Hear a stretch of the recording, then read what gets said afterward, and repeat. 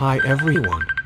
Generally when someone is calling you on Facebook Messenger then there is a pop-up on the screen which shows who is calling. But if there is no pop-up on the screen and you can only hear the incoming ringtone then what you do is go to settings. Go to apps.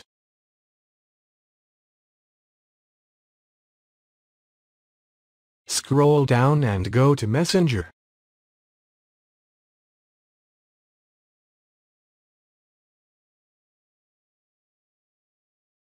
Go down and select Notifications. Scroll down. Go to this option Incoming Calls and for incoming calls the notification style should be sound and pop-up.